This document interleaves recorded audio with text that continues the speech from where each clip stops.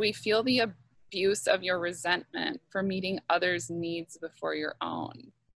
And I thought that's so powerful going both ways. Like if Right. you aren't meeting your own needs, you're going to resent other people and they're going to feel it.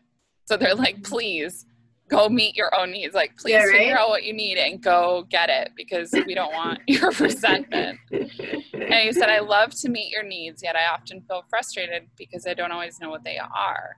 When you've Mhm. opened that door just a crack, I cling to what little pieces of information I can get. I at least try to meet your needs using my creativity, which sadly enough probably doesn't meet your needs at all. I Yeah. feel we get caught in a vicious cycle of not meeting each other's needs or feeling we have and then being shocked that we haven't You're right. leads to much misery and disillusionment. I think that's just spot on. The the cycle and feeling like you can try everything in the book that you can imagine to to make someone else happy and it doesn't work if the communication isn't there. Spot on. Yeah.